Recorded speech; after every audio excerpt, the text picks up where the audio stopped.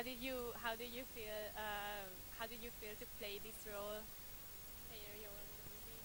Uh, the role was uh, fun because uh, I guess he can be perceived as uh, the, the kind of baddie in the piece, the guy who uh, kind of set all the, the cards falling down for, for Gemma's character, or, or not. She goes on a wonderful journey to be split up, and then I try and come back into her life and declare my ongoing love to her. So I've realised what I've lost.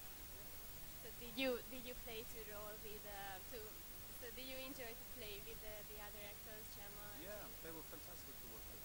Great, great actors. Um, had, a, had a real fun time on set, both of them. Yeah, it was, it was good.